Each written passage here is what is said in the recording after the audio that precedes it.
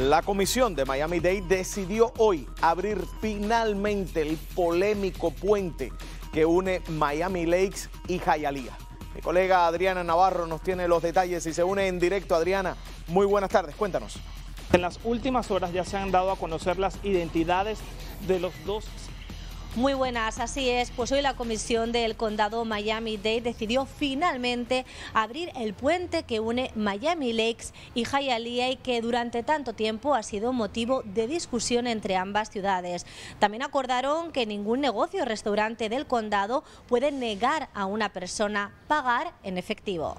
Los puentes de la 154 y la 170 calle que unen las ciudades de Hialeah y Miami Lakes han sido por años motivo de discordia entre ambas ciudades. Y hoy la Comisión del Condado Miami-Dade aceptó el acuerdo de abrir el puente de la 170 calle sobre la I-75, permitiendo que los vehículos lo usen por primera vez desde que se construyó en los años 80. El paso elevado de la 154 calle permanecerá cerrado al tráfico, pero sí permitirán cruzar a peatones, bicicletas y carros de golf. A fin se pusieron de acuerdo y ya hoy se aceptó ese acuerdo y ya entonces vamos, si Dios quiere, lo antes posible, abrir el puente de la 170 y depende de lo que podemos hacer con las entradas y salidas de lo que es la I-75, de esos dos puentes, a lo mejor podemos abrir de la 154 también en un corto tiempo.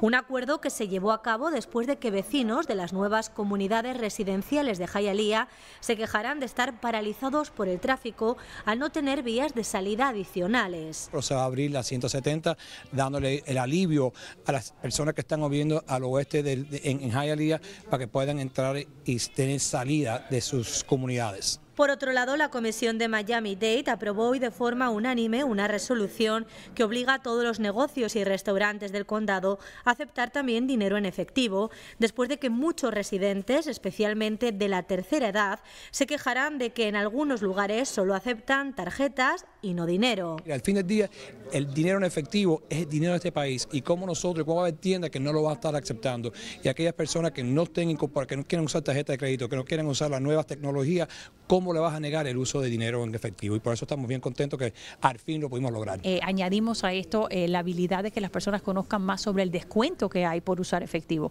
Entonces, en el estado de la Florida, eh, una persona que tiene un negocio le puede dar un descuento a una persona por usar efectivo y lo están haciendo en gasolinera y en otros restaurantes y vamos a educar a las personas sobre eso también para darle las dos opciones. Además, la comisión decidió que, al igual que sucede en el sector privado, se permitirán desalojos también en las viviendas públicas, como por ejemplo las del Plan 8, cuando el inquilino cometa actividades ilegales. Entonces lo mismo que, que pasa en la parte privada debe pasar en la parte del gobierno. Personas que no pagan la renta, personas que no hacen eh, que no cuidan la propiedad, personas que eh, debaratan ciertas cosas en la propiedad. Esas personas se deben sacar también. Y por supuesto en el noticiero de las 7 de la noche les ampliaremos esta información. Soy Adriana Navarro y vuelvo al estudio.